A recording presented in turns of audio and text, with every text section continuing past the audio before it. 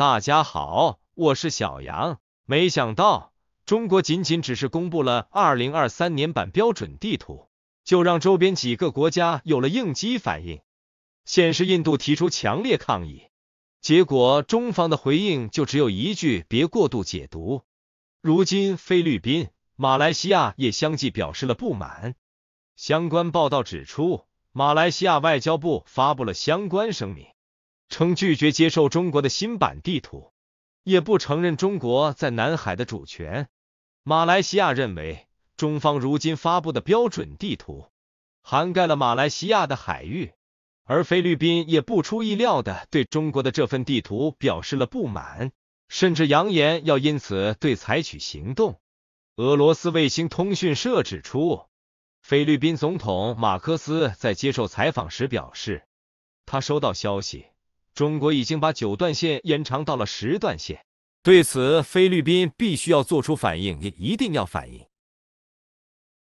马克思还表示，菲律宾不会放弃在这片激烈争议海域及南海的领土主张，也将继续坚持对南海非城西菲律宾海的所有权。而菲律宾负责东盟事务的外交助理国务卿埃斯皮里图也表示，马克思会推动东南亚国家联盟。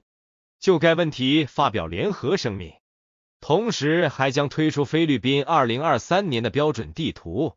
不得不说，菲律宾这次是真的破防了，不仅气势汹汹的宣布要对中国做出反应，还要和周边的国家，或许就是马来西亚等同样对中国标准地图心有不满的国家一起发表声明。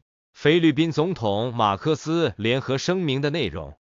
大概率也会围绕对中国新版地图的反对展开，而菲方要推出自己的标准地图，同样也是对中国表示不满的方式之一。不过，菲律宾的这些行为，只能说似乎都是小打小闹。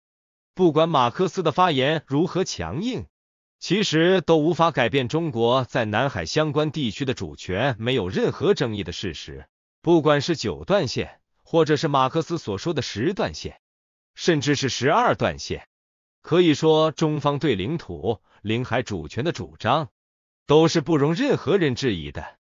如今发布标准地图，一方面是在强调中国的领土主权一事，同时也是在提醒那些对中国领土有觊觎之心的国家。再回到如今菲律宾的表态，马克思信誓旦旦的说要采取行动。但并未公布要采取什么样的行动，更没有说明何时采取行动。这似乎就因暴露了菲律宾自身的实力，根本无法支撑其自身的野心。不过，这种事情放在菲律宾身上也格外的和谐。毕竟此前电影《芭比》上映时，菲律宾就因为该电影中显示了九段线的地图，让菲律宾破了大防。菲律宾的议员当即就表示，应该禁止该电影公开播放，因为其违背了菲律宾的主权。如今菲律宾再次因为中方公布的标准地图而反应激烈，其实也不奇怪。但值得注意的是，马克思所说的做出反应，从当前的中菲关系以及前段时间菲律船只违法进入中国领海的下场来看，菲律宾到底能够做出什么反应？总结菲律宾在南海的种种行动，除了向仁爱礁的那艘破船运送违禁物资，以及派遣船只在中国领海附近挑衅或是与美勾连，依附美国强调所谓的菲律宾南海主权外，菲律宾还有什么手段？要说采取措施，那显然中国才是更有底气、理由与能力的一方。